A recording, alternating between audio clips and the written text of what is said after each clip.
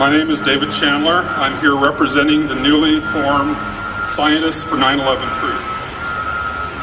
The scientific evidence is overwhelming that the three skyscrapers in the World Trade Center, the Twin Towers and Building 7, were demolished with the aid of explosives on September 11, 2001. Professional pilots and simulators have about a 1 in 3 chance of accomplishing this maneuver. Improbability of maneuvering American Airlines Flight 77 from 35,000 feet descending to hit the Pentagon. As a pilot, I concur with Colonel Gapp's analysis of the gross improbabilities in the official conspiracy theory.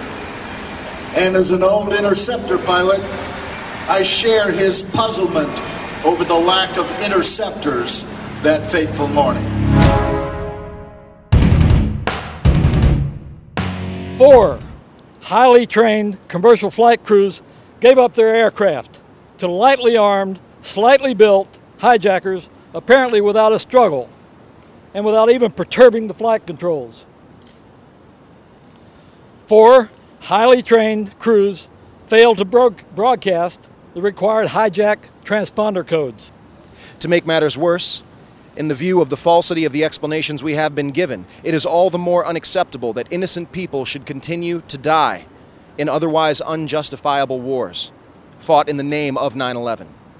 Finally, the American people at large no longer support the war in Afghanistan, as seen by a new Associated Press poll released August 20th with only 38% support for the war, down from 46% in March.